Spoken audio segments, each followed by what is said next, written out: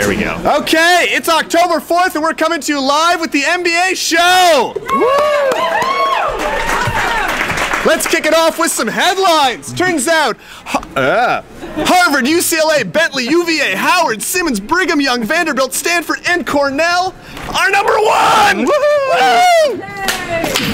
Yes! Wait, hold on. What are we number one of? Okay, the Princeton Review has just released their annual list of best schools. Harvard, best administered. Best administered. Okay, that's that's good. I like that. UCLA, best campus environment. Best campus environment. So that's best weather, I guess. UCLA, best weather. Bentley, best facilities. Go, Best, J- best, go JJ, my I brother once goes used to a Bentley. bathroom at Bentley that was fantastic. Fantastic. U- UVA, best professors. Least homework. Howard University, greatest opportunity for minority students. Simmons, best greatest opportunity for women. Brigham Young, most family friendly. Yes. Polygamy. Harvard, best career pros- best career prospects. Vanderbilt, most competitive students. Toughest to get into, Stanford, and best classroom experience, Cornell University. So if Cornell has the best classroom experience, but UVA has the best professors, does that mean that the UVA professors are not living up to expectations? Um, are me, I- you know, or the students are more attractive, and that makes a better classroom experience. But what I think about these as an MBA, what matters to me is like, should you care about these kind of lists? Like, does it matter that you have, um, you know, the best, the most competitive students at Vanderbilt? Well, is it a good thing to have the most competitive students at No. Vanderbilt? So the only the only negative award on this list is most competitive students. 'cause I think most people don't want that. Yep. But your point is really interesting, and I disagree with this type of list. I think the the only thing that matters is basically the number one ranking. There's only one ranking. That's best business school overall. There's no like niche market spaces. So, but what if you want to be in a certain geographic area? What if you want to be in New York City? Does that make somewhere in New York City to be a better option for you than somewhere else? That makes it a better option for you, but you have to acknowledge that you're taking a hit on the rest of the school and on the school's brand, and so you can be in a city that you want. Tom, I desperately, desperately want to work in Pittsburgh. Are you telling me that going to like, you know, NYU Stern is better to go work in Pittsburgh than it is to go work at Carnegie Mellon at Tepper? Yes. That doesn't make any. It's just okay. I think you're better to go to a better business school, get the better brand, and then apply for a job where you want to go. Not to try to like go to that city and work some inside niche thing. So it might be better to apply there, but I think you got geographic proximity. You know where you want to go in life. That's where you want to go. Okay. Speaking of figuring out where you want to go and what you want to do, we've got a special MBA segment of horror stories. Mm-hmm. Ooh.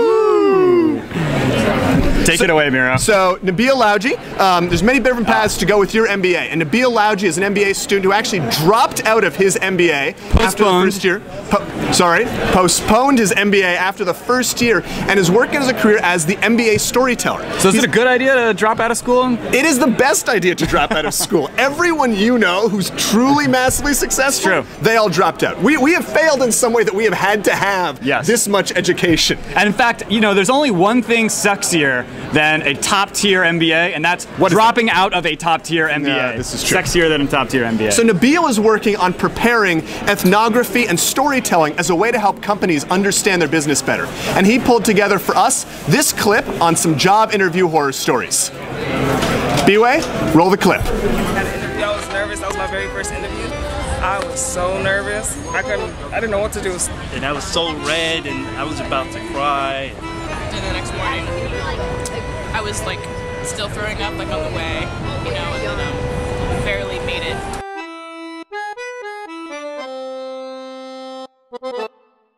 I was. there were glasses on the table and a bottle of water. I was nervous, my mouth was dry, and I decided to get some water. I knocked the glass clean over the interviewer, and he was covered in water. The guy had about 20 interviews. I was his last one. He wasn't in a great mood, so he basically handed me my resume and asked me to ask and answer my own questions during the interview. Um, so I asked myself what I did for the summer, and then I answered it. and he asked me straight up, uh, "So do you have any questions?" And my question was, "Yes, I do. If you were sitting in my chair, what question would you ask me?" So basically, I was saying, "What should I ask you?" And he didn't appreciate it. And they say, you know, we just want to ask you, uh, you know, what, what fashion publications do you like to read? And there's this like cold chill went through my body as I realized that I, I don't read any fashion publications because I don't give a shit. And I just, there was just these crickets filling the room and this silence. And you know, they say thank you and they say we'll call you, and you just know right then and there you really, you really botched it. I really fucked it up.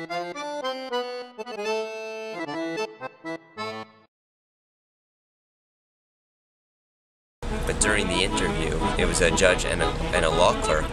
I kept on looking at the judge, and he, he was his eyes were getting a little bit tired. He would be like that and that, and you know, you're trying to come up and think of things to say, but it's not that easy. And I looked over a few minutes later, and he was completely fast asleep. So um, I think he felt so guilty that he offered me the job right after the interview ended, and I accepted. Long story short, I was about 45 minutes late, so I might as well have just been two hours late. Lady was kind enough to see me for about two minutes, and then told me she'll get back in touch with me. But, but I actually had another interview in the city that morning, and that's the job I'm currently working at now. So it all worked out in the end.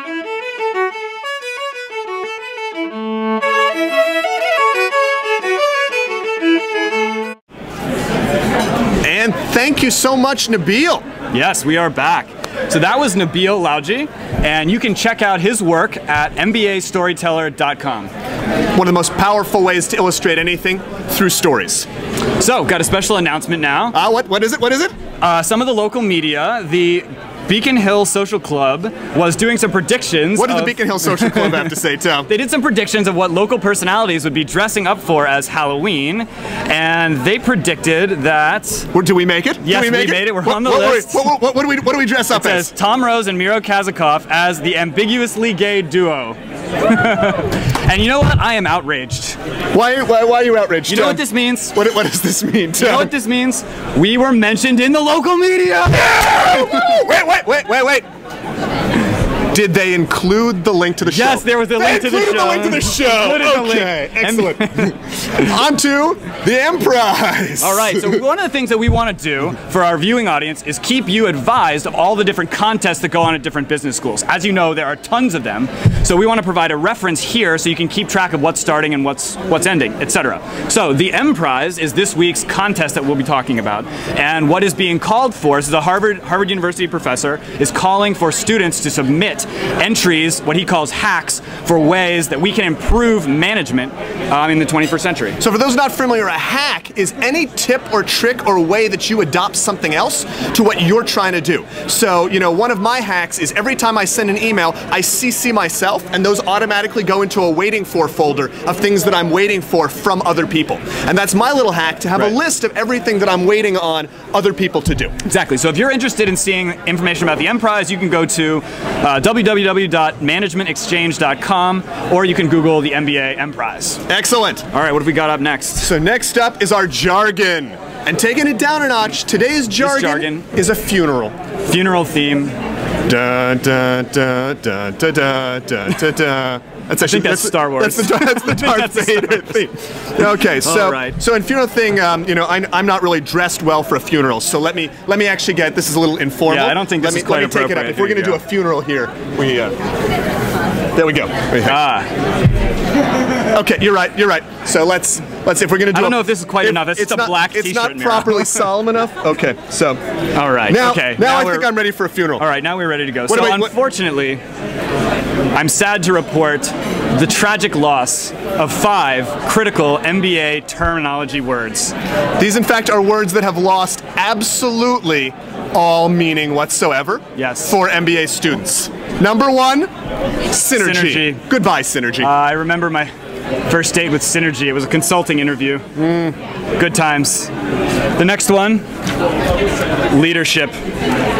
Absolutely and completely meaningless. When have you ever done anything in school where people were like, this is not an opportunity for leadership? You know what's not needed here? Leadership. Yes. Unfortunately, we have lost leadership forever. Innovation. Innovation. Uh, innovation. Unfortunately, in the, I think it's in the MIT Sloan mission statement, which we perhaps may need to update a little bit after the tra- tragic loss of innovation. Yep. Development. I'm not even sure I know what that used to mean. And Tom, building on that last point, Our final thought will be building on that last point. This is actually a phrase now that I have seen be used to mean both I'm about to build on your last point and also used to mean I'm going to say something completely different and not at all build on your last point. Building on that point, let's go to the business school tip of the week. The business school tip of the week is the panic schedule. What is I, the panic schedule? I have been feeling that this is that week. my schedule this morning? that is your schedule during midterms, during Ah. finals, and Tom, for you, your schedule any any particular so this day is a good week. thing or a bad thing? This is a necessary evil of business school. The panic schedule is the schedule that we all okay. know that comes out during midterms and finals. Our rec- our business school tip of the week is to be explicit. When it's time to go to the panic schedule, it's time to go to the panic schedule. Stop pretending that you're keeping up with all of your other obligations. Know that it's midterms or finals, you're moving into panic schedule. You want to set it out visually, you want to just tell people you're working on those things. Don't be afraid of it, make it explicit. It's the panic schedule. So you're saying I should I should just like embrace the panic schedule? Just like, oh, I've got midterms coming up. It's like screw everything else. Stop Screw- checking my email. Screw everything else. And just like and check just do your that. email once a day. Have a piece of paper So- that is just the things that need to do. Make it visual and go for the panic schedule. and how long can I sustain this? The panic schedule I find you can sustain for about two weeks. Two weeks? Oh my gosh. At least that's according to Cal Newport. We could launch a company. It's according to Cal Newport, who this is largely stolen from. And it, I suggest when we launch a company in two weeks, we go on panic schedule. All right, panic schedule it is. And what is on your radar? Absolutely nothing. I am so proud to report for this weekend, I will be doing absolutely nothing. I'm so if so you excited. need a uh, new uh, executive vice president for your club, Mira will not be doing anything for the following week. Tom, what about you? What's on your radar this weekend? I'm going up to Maine for the Maine Brewer Festival in Portland. It's going to be awesome. awesome. Lots of beer, pub crawl, camping out. Anyways, I'm Miro Kaz. I'm the real Tom Rose, and you've been watching The MBA show.